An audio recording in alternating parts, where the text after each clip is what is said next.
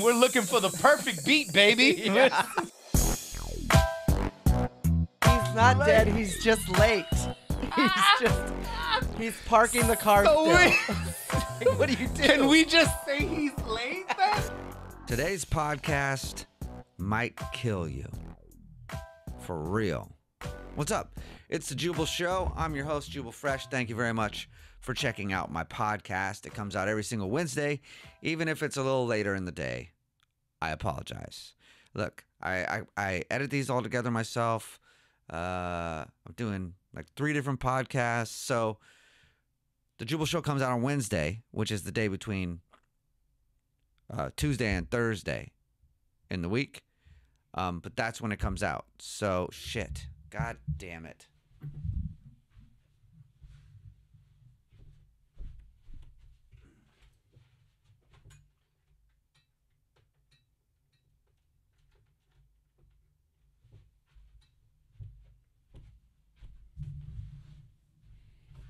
I'm leaving that in. I'm leaving that in and I'm not editing it. You know what just happened? So the podcast is on iTunes as well as YouTube, but uh, I filmed today's podcast, and so my camera wasn't plugged in for a lot of it. And I'm looking at the camera while I'm speaking into the microphone, and I see the red light blinking on it a little bit. Oh shit, battery's about to die. But my quick thinking and my cat like reflexes, I was able to jump up, go around the table that I do the podcast at, plug in the camera so it's not dead and it's all good now. Like I was saying though, the Jubal Show podcast comes out every single Wednesday, which is the day between Tuesday and Thursday. And uh, make sure you rate and review that. Do me a favor, don't be a dickhead. Rate and review it. Also, the Fresh Till Death podcast, which I do with my hot ass wife, Alex Fresh. That comes out every single Monday. Also, rate and review that. And then the podcast, which holy shit, this weekend's podcast was ridiculous. That comes out on Tuesdays, and that's only a YouTube thing because uh, it's a lot of audio. It wouldn't really make sense to you on the iTunes. So make sure you check this week's out though. I've I've rollerbladed uh, once or twice in my life, and I've always been terrible at any kind of blading sports, whether it's uh, rollerblading, roller skating, ice skating, any kind of skating, even uh, uh, uh, what's the boarding? You know, the snowboard, the boarding they do in the snow. Oh, snowboarding. That makes sense. Um, even snowboarding, man, just terrible at any of that kind of stuff. I used to surf as a kid. I wasn't the best, but uh, and I didn't do it for that long. And actually, I was fucking terrible at surfing. So never mind. Any of that bounce kind of stuff, not good. And then my hot ass wife, Alex Fresh, gets me high impromptu, gets me high, by the way, just comes home and surprises me and says, Hey, we're doing the podcast. Here's some rollerblades. Get out there. I am so bad. So if you just check this out on iTunes, make sure you go to YouTube, youtube.com slash jubalfresh, and check out the podcast. The title of it is Rollerblade Tutorial.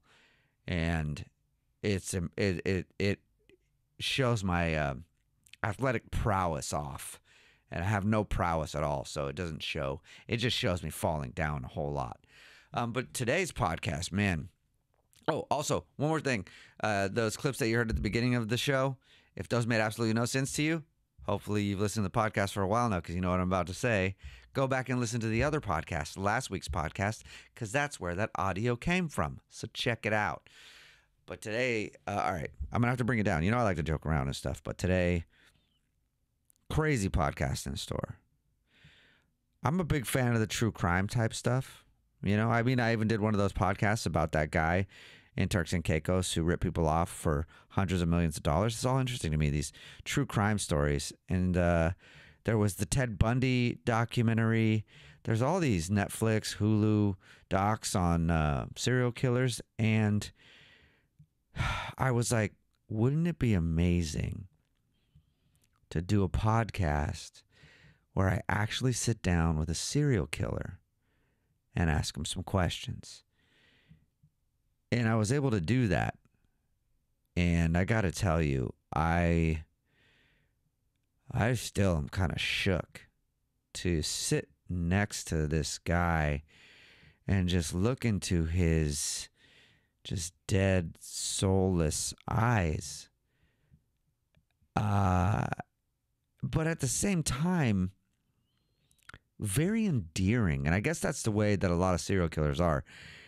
He was strange, very weird, but also very likable.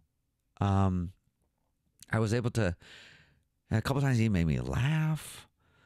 Uh, but he did most of the time. He just really scared me, and I didn't want to be around him. But but he's the kind of guy that would really really creep you out, and then eventually say something where you're like, "Oh, you're not that bad of a guy." Oh, wait a second, you're a goddamn serial killer. You're the worst kind of guy.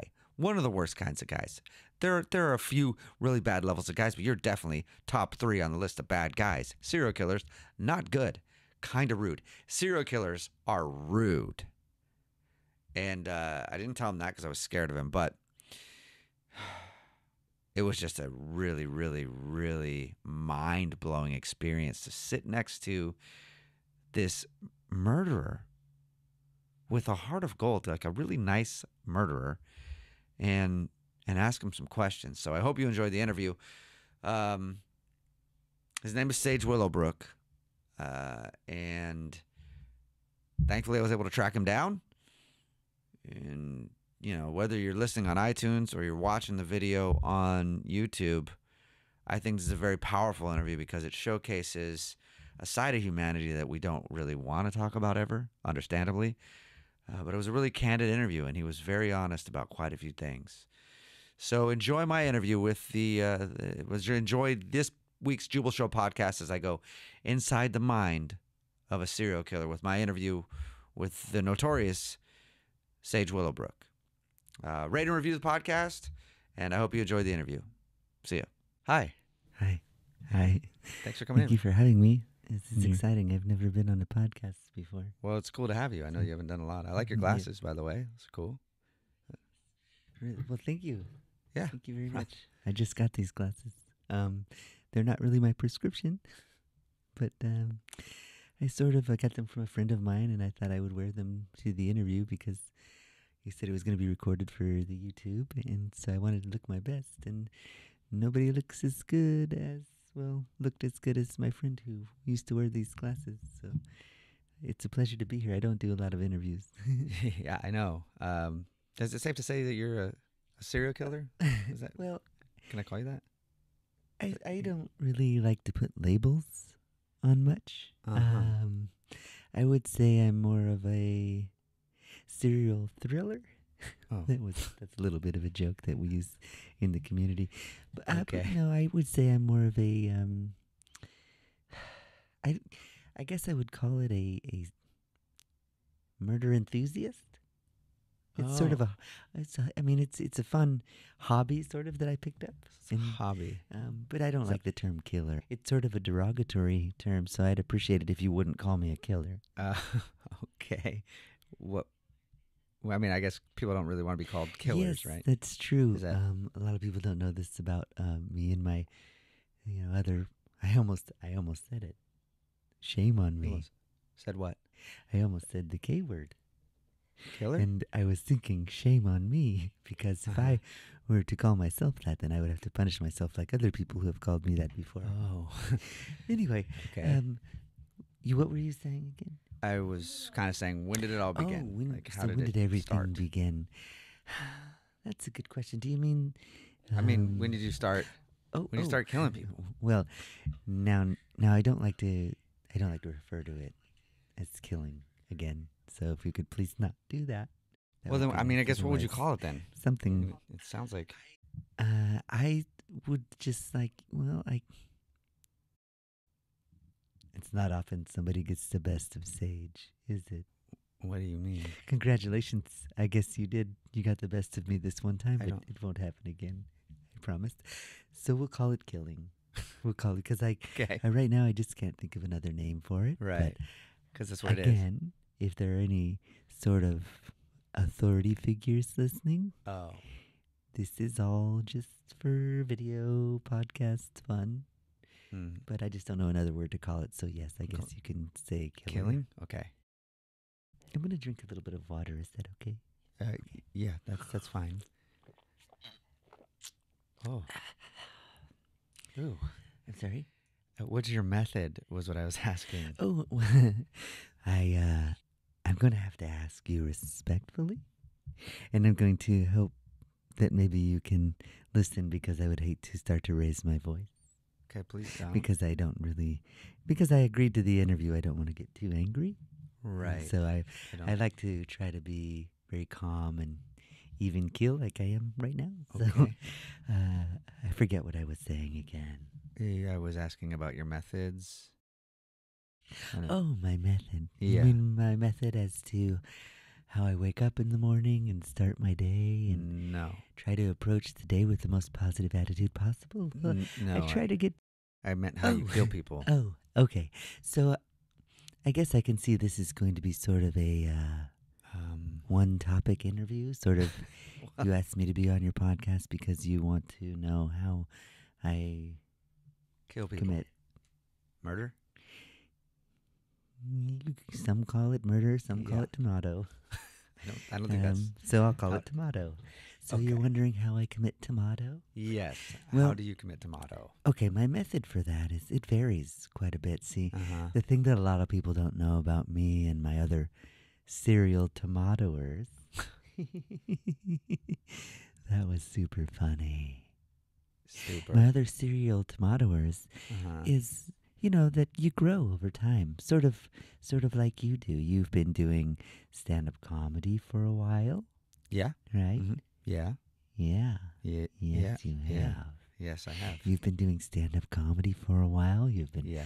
working on a radio show for a while right Yes. yeah Yeah. yes, Yes. you have Yes, I have. so what i was saying was you grow over time Right. you're not always the same person are you No. when you first started off doing your comedy shows Uh huh.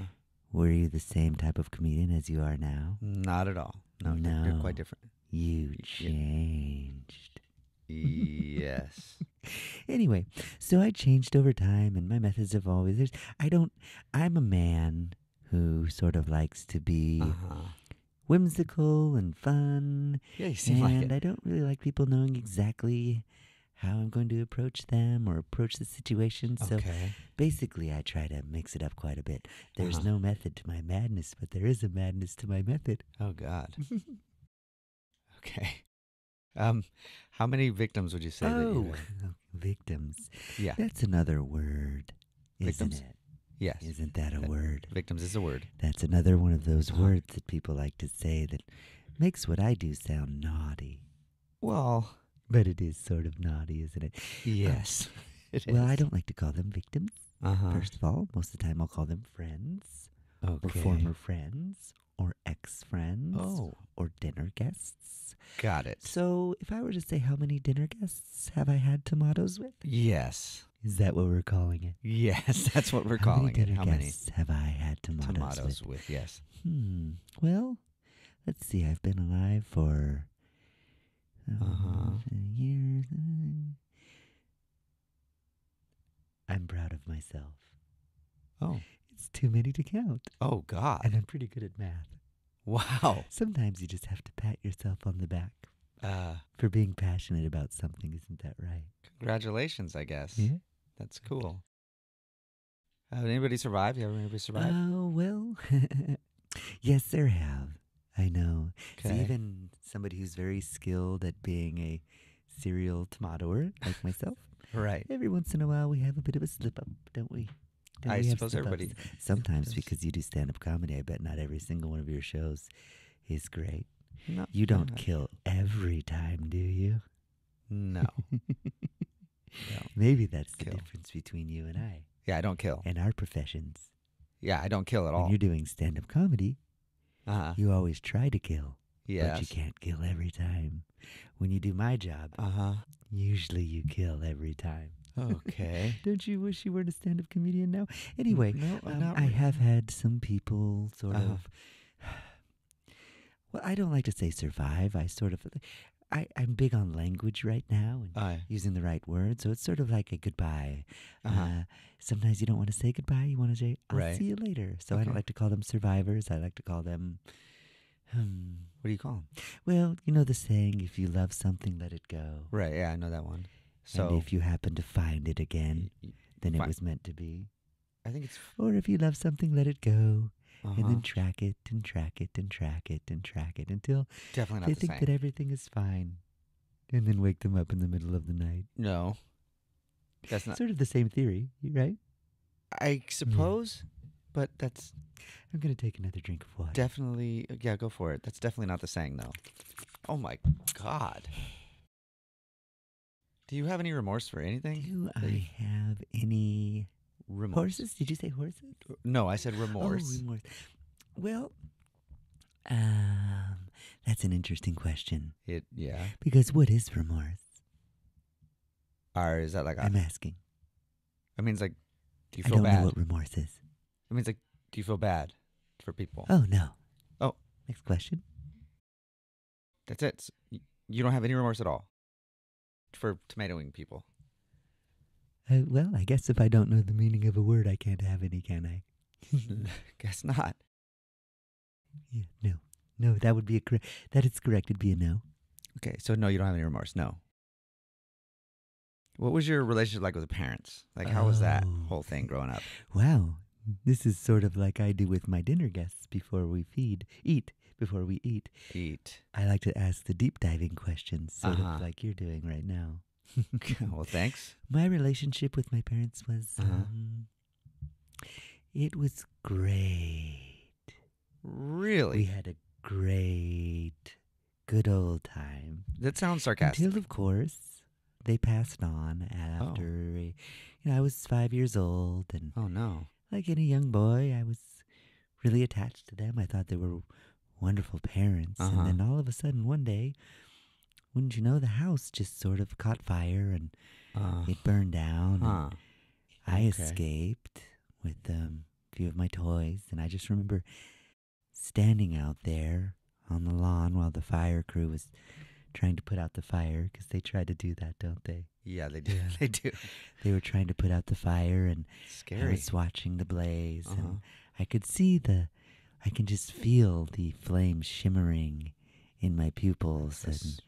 I was standing there smiling because I know that I had done a good thing that day You- when the did it. house caught on fire and my parents perished in the ashes. I knew I had done a good thing, You did a good thing. and I What smi- good thing did you do?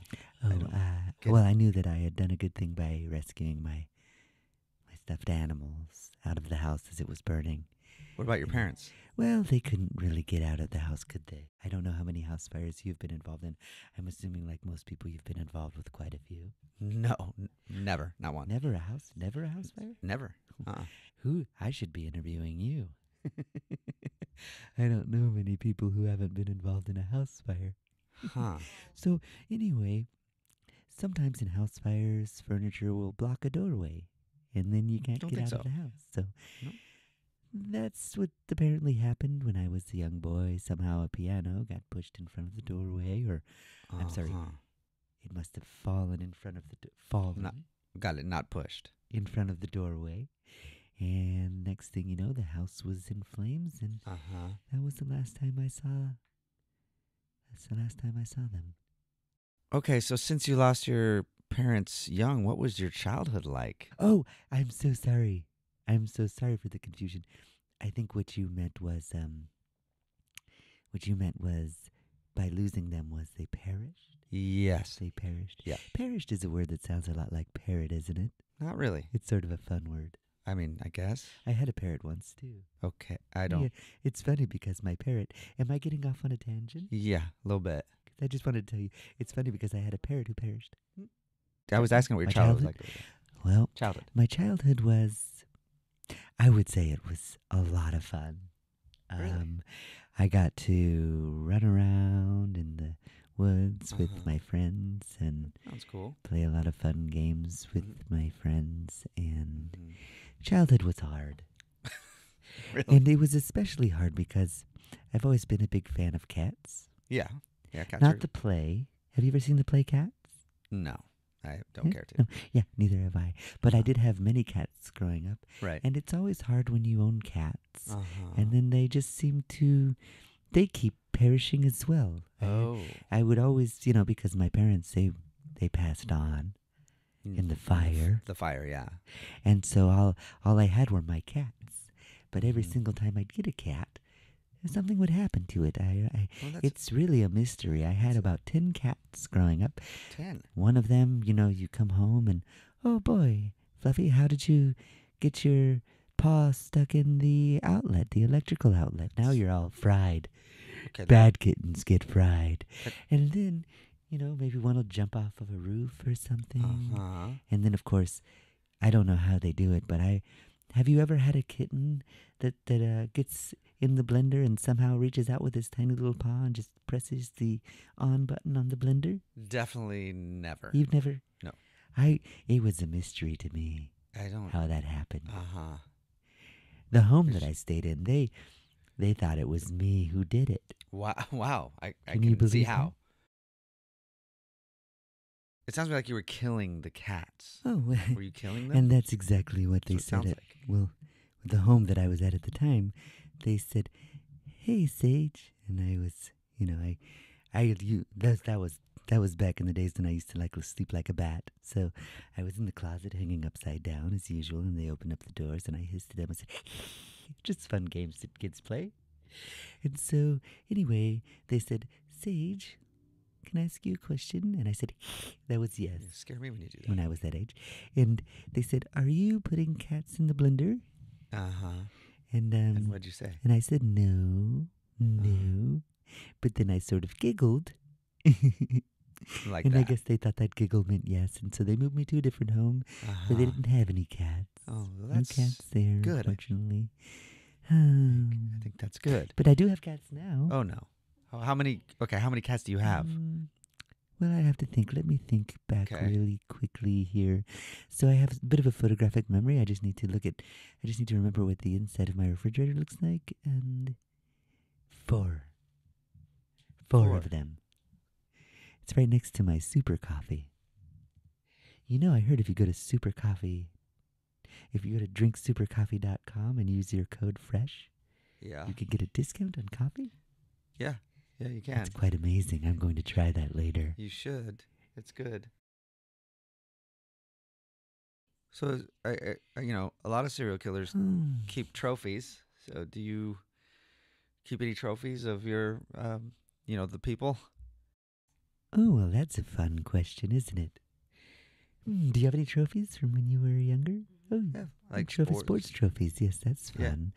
Um, I do. I guess you could say once in a while, Seiji gets a little shoplifty. I call it shoplifty What does that mean? because I'm not really in a store, am I? no. No, I'm just sort of trouncing around. Maybe I don't want to give too many details because, again, sometimes I get visited by um, authority figures and they get a little angry with me and they ask me all kinds of questions. So, um, but yes, sometimes I will be in a store. We'll call it a store shopping for tomatoes. Got it. Okay. I'm in the grocery store looking to get some good tomatoes. I think we all and get I'll it. take something. Yes. Sort of like my spectacles here. Oh. These glasses are not my prescription Oh. at all. Those are a trophy. They are definitely not my prescription. I'm picking up what you're putting down. Those are a trophy. They're my friend's prescription. Yes, that's what I'm saying. Uh, so anyway, um, That soon, when it comes to after I've you know like the trophy, what? had huh? dinner with my friend enough times, my eyes will start to become like his, and the prescription will work. Oh God, Hear that if you eat enough sloppy Joe, you start to see like Joe. that is disturbing. So, um, Yeah, a lot of people yes. Have followed your cases, that you know, uh, and they noted that you've been acquitted of murder a bunch of times already. Tomato. Can we call it Tomato. tomato? There's a bunch of 36 additional cases. Yes. Yes, I would Uh, say so. That's fun. It's quite. How were you being acquitted though? Have you heard of a basketball? Yeah, Have you heard of basketball players? I have. Have you ever tasted a basketball player? Absolutely not. Have you? Me neither. Oh. Well, in basketball, Uh huh. um, there are a few people who sort of excel at what they do. Right. Have you heard of LeBron James? I have. Did you ever hear of Michael Jordan? Definitely. Did you hear, ever hear of Tom Sedgwick? Never. Who's that? You wouldn't have. Oh. He's a friend of mine who played basketball. Oh. He came over for dinner once, Oh. and guess what? He didn't make it out of there. He was a tough guy. Oh, he was tough. Wait, Oh, I guess that's why I was using the basketball reference. I I Yeah. have lawyers, and I um I like to call my lawyers the LeBron James of law because they're very talented. Also, I have quite a bit of money saved up. where, where do you get the money for these lawyers? These great lawyers. Well, okay, so I have a bit of money from well the fire. Remember the fire days? Do you remember back when you and I were talking about the fire Like two minutes ago. and yeah, my parents I do. and standing out there with my stuffy Yeah. watching the house burn down? Yeah. Well, I got some money from the insurance company for that. Wow. And then also, Uh huh. I guess my daddy had quite a bit of money saved up and he left it for me. And once I turned 18, You got all the I money. got all of the money that he had left for me and all Wow. of the insurance money. And the funny thing about money is sometimes you can pay a visit to a judge. Uh huh. Oh. You ever paid a visit to a judge? Well, uh, no, no, I Yeah, haven't. Well, you can pay a visit to their, their front door. I don't think you're supposed to. You to can though. knock on the door and you can say, Hi. Oh. It's me, Sage Willowbrook. Do you Yeah. remember when when just a few hours ago we were in court together and they were talking Yeah. about all these tomatoes that I had done? Right. And usually they'll say, Get off my property or I'm going to call the police and I'll say I've uh-huh. I've snipped all the wires to the security system, so maybe we should continue to speak.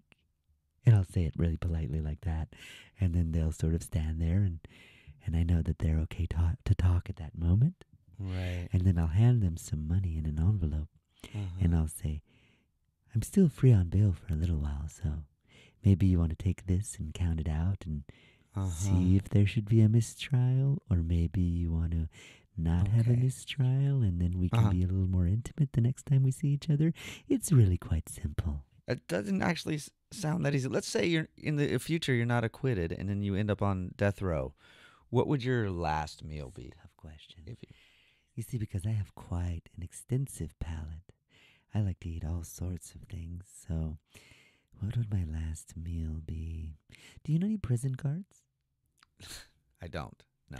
Well, um, I, you know, I've been, I have been to prison one time, Uh huh.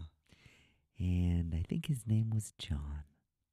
So you're saying John would be your last meal? Does that answer the question? Is you saying it'll be the- your last meal? Well, it would be with John. Yes, I would have my last meal with the prison card You uh, can't. named John that I remember. You But I would also be willing to have the last meal of whatever the prison guard was on duty. You can't eat a prison guard. What are you gonna eat? Nope. No eating yes, it would be with John or No, you can't eat a person. Like, try to think vegan for a second. Like, would you have a vegan meal on death row or something? oh, oh vegan. my goodness! Can you imagine that Sage being a vegan? I have eaten vegan. I have eaten vegan before. Yeah, like if you're vegan or something. Oh no, uh, they were a vegan. The meat was very, uh, uh, very protein rich, surprisingly. Yes, but I have eaten vegan, and I didn't. I guess I didn't really like it that much. Um, so you're asking again? I was asking what your last meal would be, but I just wanna. I just have one more question. So let's say uh, you know there's like a lot of abortion stuff in the news right now. Are you pro or against abortion and a woman's right to choose? Like, what is your stance on that? Because Oh, I think abortion is amazing. It's one of my favorite medical procedures. I well, I actually think it should be used a lot more often. It makes sense. sometimes- I guess. I like to think of myself as an abortion doctor. Well, I mean, you're not wrong. Yes, I'm. Well, yeah, that's another term that I use. We talked about tomato as kind of a code word, but also Uh-huh. super late term abortion. So, So let's say somebody's 50 years old. uh huh. Well, I don't like to think of that as murder because murder is quite sad, yes? Yeah, yeah. I just is. like to think of it as a late term abortion. So I am Mm. all for it. Figured you would be. You know, I don't I like mean, to think of it as an abortion at all. I No? like to I like to call it an adortion. Oh, that's cute. If we change the way we use words, sometimes Uh-huh. words don't hurt as much. So, hi, baby, I'm going to abort you could sound bad. Okay. Hi, baby, I'm going to adore you. that sounds nice. No, I don't. I don't think so. You know what? I think we're done, man. Uh, thank you Oh, for coming by. I, I could stay longer if you'd like. Are you No, sure? it's, it's Okay, perfectly. we- I, I, I can make you supper. Would No, you like to be supper? not. Nope, definitely not. Are you sure? Is, I- is your family home? Nope. Can I just nobody's say here. hi Just me and you. Anybody Nope. I can say? No, No, no, nobody. out. Okay. well, Nobody see uh, can I uh, can see your keys? Can I no, make a you copy cannot of have my keys. keys? No, Okay. it's over. I guess interview's I'll done. be. Uh, I guess I'll be leave. Going? Leave. Oh, you see me doing the air quotes with my hands, don't I, you? I see you okay, doing I'm the air quotes with your hands. Thank you for Please the actually. Thank you please for your time. That was fantastic. Yeah, That was okay. fantastic. Okay, All right. bye. Bye.